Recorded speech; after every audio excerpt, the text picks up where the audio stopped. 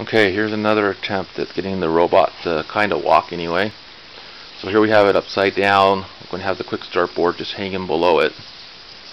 And let's see if I can turn it upside down without getting too many wires tangled.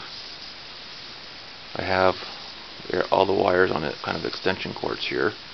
And if I just support it a little bit, it kind of can walk. If I let go, it'll go over, topple over forward usually. Let's see if how long it will walk here. As you can see, I've changed the angles of the legs to um, kind of give it a higher angle. Oh, just something just died on it.